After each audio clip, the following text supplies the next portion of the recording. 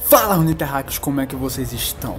Bom gente, hoje a gente vai falar sobre a Calista, entender um pouco mais sobre a origem dela e também o envolvimento dela com a ruína que deu origem às Ilhas das Sombras. Então já deixa o seu like, se inscreve e ativa o sininho para ficar sabendo dos próximos vídeos e compartilha esse vídeo com seus amigos que têm interesse em lore. E se quiser me segue lá no Twitter que lá eu também falo muito de lore e converso muito com a galera.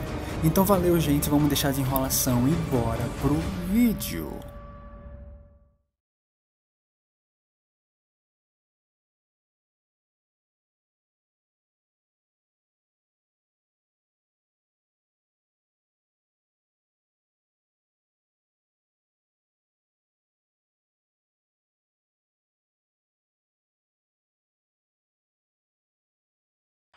Calista era uma nobre e habilidosa comandante que fazia parte do alto escalão do exército de um nobre rei há séculos atrás. A mulher era conhecida como a Lança do Trono Prateado. Ela também tinha uma relação de sangue com o tal rei, visto que era sobrinha do mesmo. O reino em que ela viveu e defendeu ficava em terras longínquas há muito tempo esquecidas, e seu rei era muito querido. Mas assim como qualquer liderança, existem os aliados e os inimigos. Todo rei tem uma guarda real, e toma cuidados para a preservação de sua vida. Nunca se sabe onde pode ocorrer uma emboscada ou qualquer coisa desse tipo, e Calista sempre estava por perto para proteger o seu tio e rei, até que um dia sua presença foi necessária. Uma emboscada foi armada e a vida do rei corria perigo, mas Calista era muito habilidosa e ágil. Com suas habilidades, ela fez o possível para manter todos ali seguros, principalmente o seu líder. E assim conseguiu. Mas infelizmente, neste dia, algo aconteceu. Uma flecha que ia em direção ao peito do rei acabou atingindo outra pessoa quando Calista o salvou do alvo. Agora, a flecha tinha atingido a rainha de Raspão, mas para o azar de todos, isso não a salvaria, pois a flecha estava envenenada. E não demorou muito para que o pior começasse a acontecer. A rainha foi perdendo suas forças e caiu desmaiada para o desespero geral, e principalmente do rei. Os melhores sacerdotes e curandeiros que o reino conhecia foram chamados, mas nenhum deles conseguiu reverter ou criar um antídoto, ou até mesmo extrair o veneno do corpo da rainha. Algo precisava ser feito.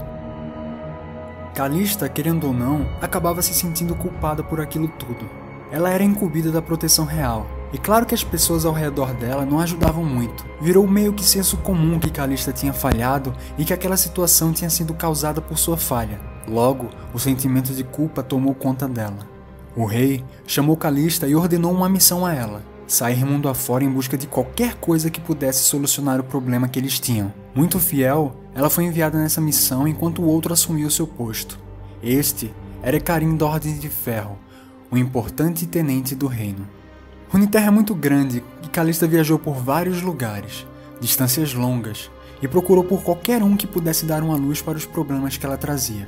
Consultou especialistas, eremitas, magos e todo e qualquer tipo de pessoa que pudesse ter qualquer solução para ela, mas todas as suas tentativas a frustravam sem uma solução.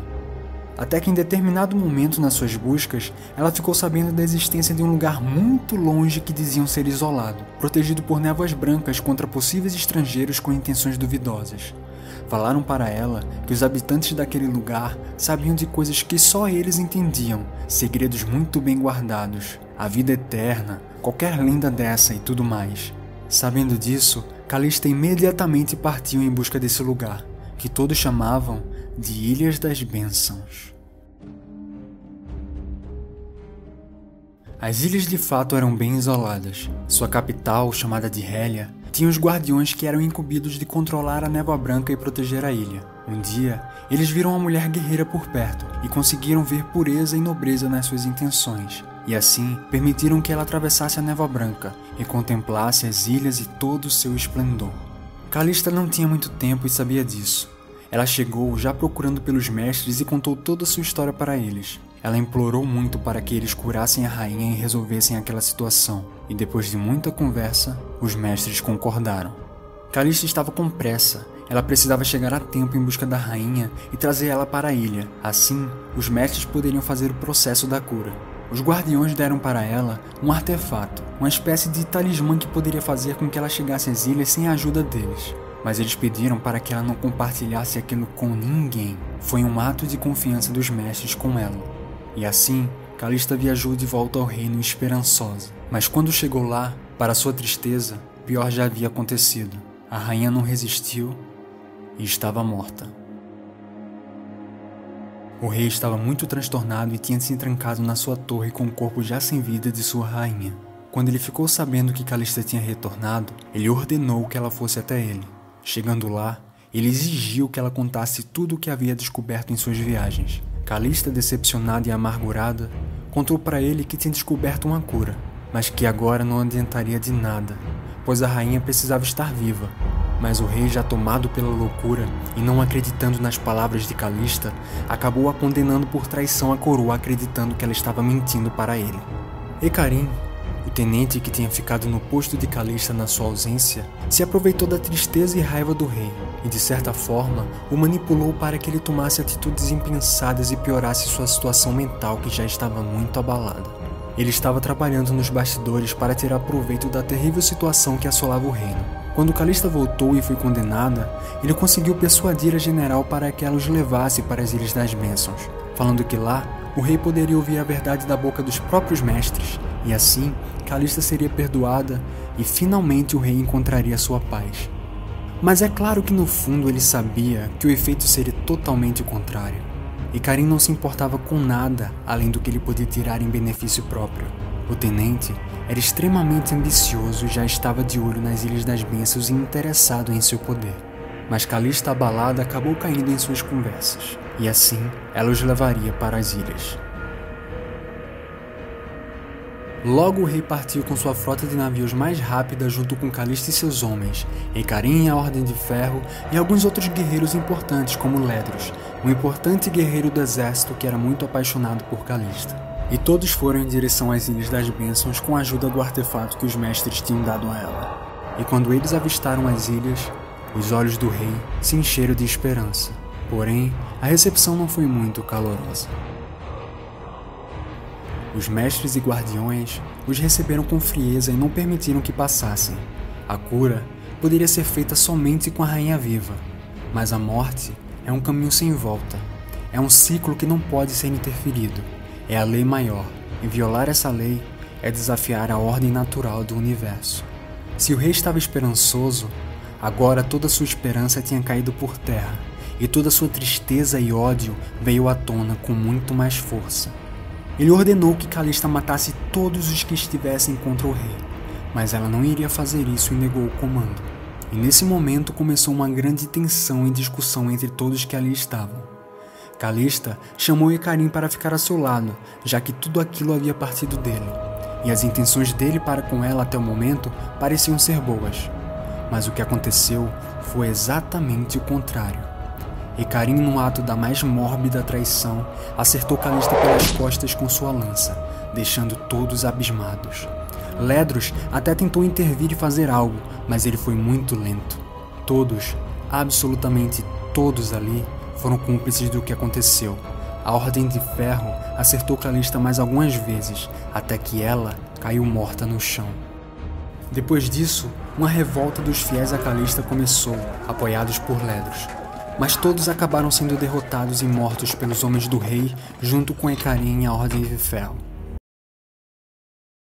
Tempo se passou e Calista estranhamente voltou a abrir os olhos, mas tudo estava diferente. Sua visão era completamente abalada por uma espécie de magia sobrenatural. Ela não tinha a mínima ideia do que tinha acontecido depois de sua morte. O rei, no ápice da sua loucura, conseguiu provocar uma grande explosão a famosa explosão que acabou gerando um evento chamado de A Ruína, que devastou completamente aquele lugar. E agora, as Ilhas das Bênçãos e a cidade de Hélia deixaram de existir. Ao menos como eram antes. Todo o esplendor virou passado.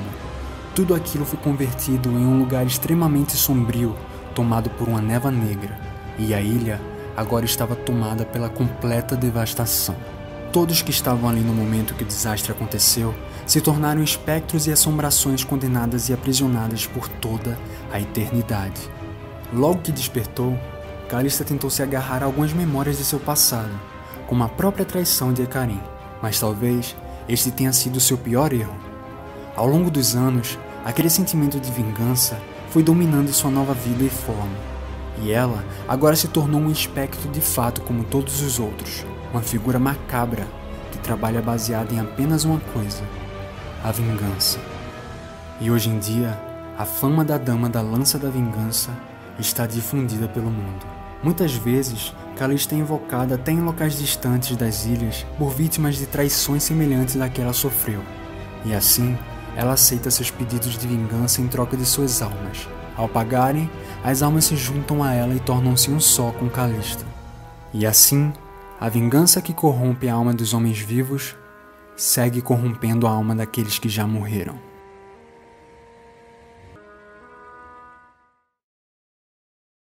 Então é isso, Orniterracos, eu espero que vocês tenham gostado do vídeo de hoje. E se vocês gostaram, deixa o seu like e se inscreve no canal para dar aquela força. E bom, gente, depois de todo o vídeo eu faço aqui indicações de materiais para vocês consumirem, né? Então hoje eu vou recomendar para vocês aqui o conto Os Ecos Deixados para Trás. Esse conto é muito interessante e mostra a relação do Ledros com a Calista, né? Para quem não sabe, o Ledros é uma carta lá do Legends of Runeterra e um personagem da, do próprio universo, né? E ele era apaixonado pela Calista e tudo mais. Ele estava no momento que a Calista foi morta. E agora ele vive lá nas Ilhas das Sombras como um espectro, assim como todos que estão lá, né? É uma história muito interessante. Ela não é tão longa, eu acho que em uns 20 minutos você lê ela inteira. E é muito interessante ver essa história e essa relação deles dois. E bom, gente, eu espero que vocês tenham gostado do vídeo de hoje. Muito obrigado pela força de sempre. E até a próxima!